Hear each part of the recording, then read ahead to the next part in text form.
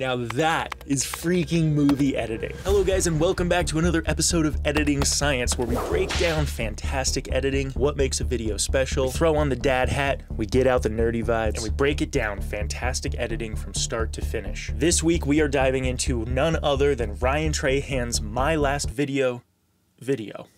this video is a unit of a video. The editing is on point, the filmmaking is top notch, it's so cinematic in the way that it is executed, and so much of that is coming through the edit. But before we look through the actual video itself, let's get out those nerdy editing dad stats. To kick things off, it wouldn't be an editing science video if we didn't get out the auto scene cut detection tool in DaVinci Resolve to see how many cuts this video had. And using that tool, we discovered there was 114 cuts. The video is 5 minutes and 49 seconds long, or roughly 349 seconds. A little bit of napkin division math, and we're getting a cut roughly every 3.06 seconds. Next on the docket, what is the ratio of tight, medium, and wide shots chosen in this edit? For the number of tights, we got 25. For the number of mediums, we got 34. And for the number of wides, we got 32. And on this particular statistic, I actually stopped looking at tights, mediums, and wides once he pulled up the phone and did the actual ad read at the end. So I'm just talking about the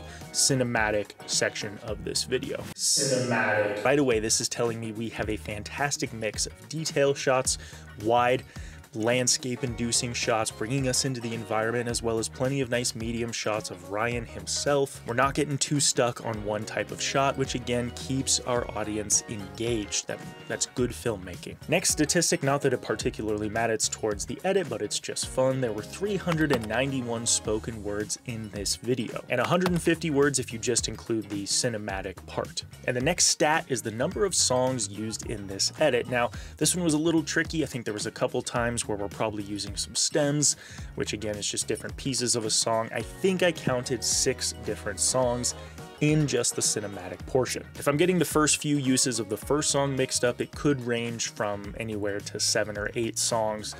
Again, I think it's the same one, just different parts chopped up from what I can tell. And the last part of this statistics section is looking at the waveform, and right away we are seeing everything I love to see in a waveform. Lots of peaks, lots of valleys. We are going to have so many moments in this video where we are bringing it down. We are focused. We are, you know, pulling interest to calm moments and then we are escalating to absolutely energy filled moments. I can just tell right away from this waveform we are seeing some really special contrast editing. All right, guys, but without further ado, let's kick off this video and let's break down some of these fantastic editing choices. Doubt anyone's even gonna watch this video. Okay, right out of the gates, I'm again, this is kind of the filmmaking of it, but it is the editing as well. The fact that we start with the classic Ryan Trahan you know, iPhone shot is just so great to then go to this flipping through the air shot, which again is just the sound design there. I'm sure a lot of that wind noise was added in post. Maybe he actually threw his phone, I don't know, but it was just really intentional with the spinning. It makes me think that it was done in post, which again, sound design in this video is immaculate. We're going to talk about that a lot, but that was so clever to do that. And then to have that big old hit, that thunderous as the phone hits the sand. So that thud was a great choice, but let's talk about the editing choice here. We've got that standard 16 by 9 phone aspect ratio, selfie camera. Ryan loves to do it. And as soon as the phone hits and we get that high impact moment, we are in 235 to 1 aspect ratio, which again just signals right away in our brains as a viewer this is a movie. This was a great choice to immediately, as an editor, say, audience, wake up, we're in a movie.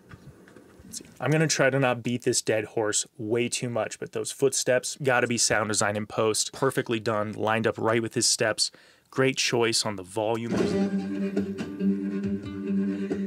This opening shot is special and I love it so much. So, what do I love about it? I love that we cut to the door and we let the door breathe for, let's see here, how many frames?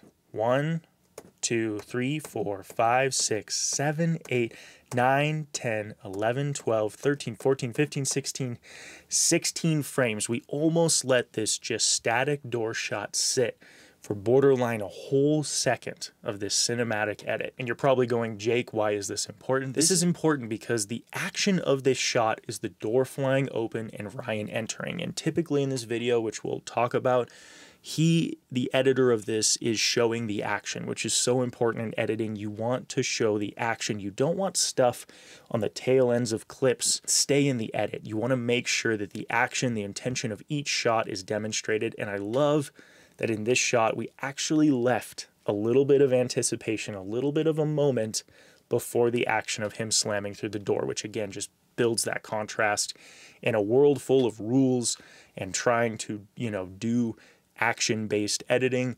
This breaks that rule for a very specific purpose, and we have to give it a thumbs up. Song selection, perfect right here. This is another great example. The whole sequence of him digging through the house is showing the action. Every drawer being opened, that is what is going on in this edit. Action, action, action of him popping up, grabbing that, action of him looking in there. Fantastic editing. It's so, it's so good. Music cuts right there perfect. And then this comes back in. This is the part that I'm not sure. This sounds like a different song but it might be the same one because it's still got that kind of country feel to it. I think it might be different, but man, what a great use of already switching the song because we're really building the suspense with that little da da da da da da. It's so so good. Who wrote this? Brilliant use of contrast editing. We cut the music to really hit this humor moment of Ryan saying, "Who wrote this?" It's genius. It's perfect. It's so well done. Oh, that's so good too, dude. That's so good. We hear the knock on the door. Song comes back in with a little which I think is like kind of like a violin, fiddle, or something, whatever, to kind of build that suspense again. And then we have this door pushing shot with this really wispy, ethereal sound design to just have this, which is so good so good. Sounds like ghosts, which we love. This is another one of those moments where because it's a tight shot, they may have gotten the audio of him licking his lips. Yeah, I don't know. Maybe they got that in camera. Okay.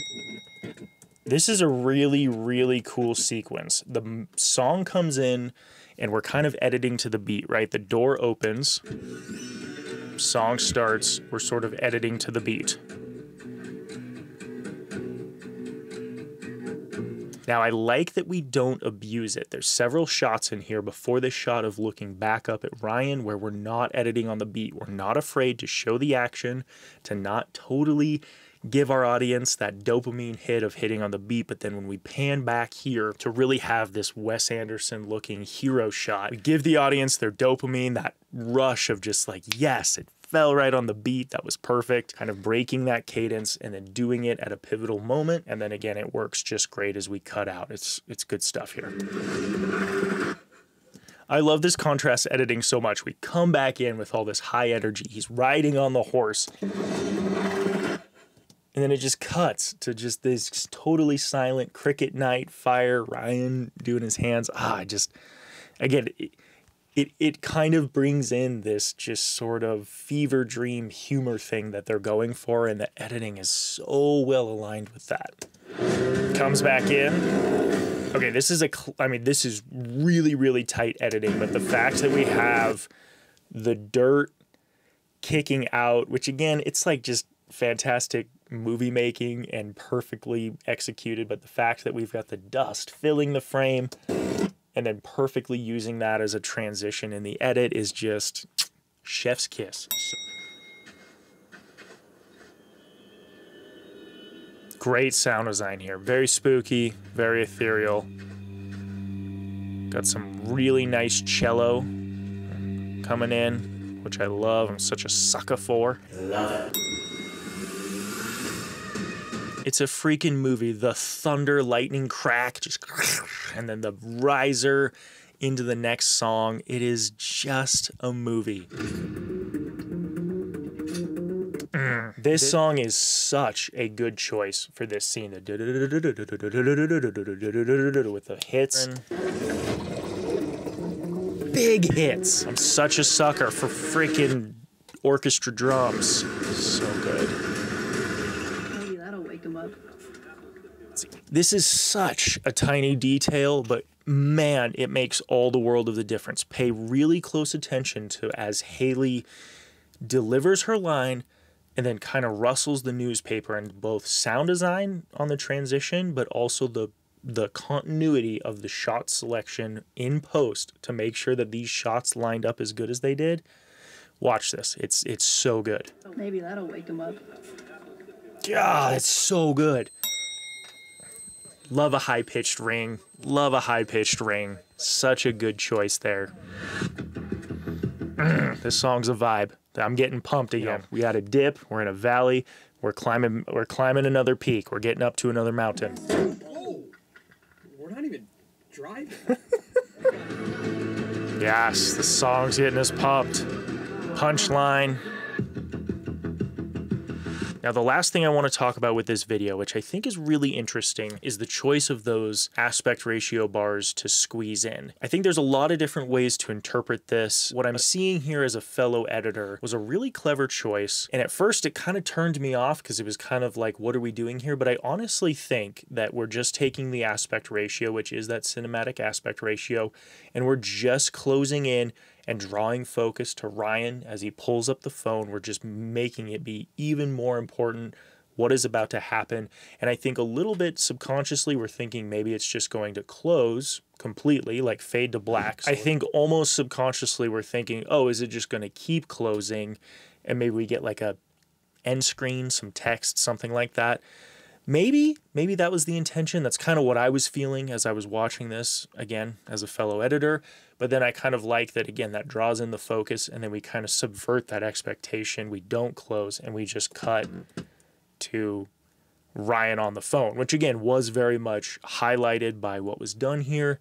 And then, you know, just kind of takes us there. So if you guys have any other ideas, comment down below. I'd love to hear. Ryan, I don't usually care about YouTuber products, but I love sour candy. So I don't know. I'm probably going to have to figure out how to get my hands on this because I am a sour candy boy. And the guys that actually shot and edited this have their own channel called Sticks. They are awesome. They are such cool creators, and what a fantastic job you guys did. So, definitely show some love down in the comments. Uh, give me some of your thoughts that you guys had about this edit. I think it is truly awesome. It's definitely one to sit down, write some notes on, and get nerdy with. But with that, guys, I'm going to let you go. Thank you so much for watching this video. If you enjoyed it, make sure to hit like and make sure to subscribe so that you can be here for the next time we do another Editing Science episode. And I will see you guys in the next one. Later.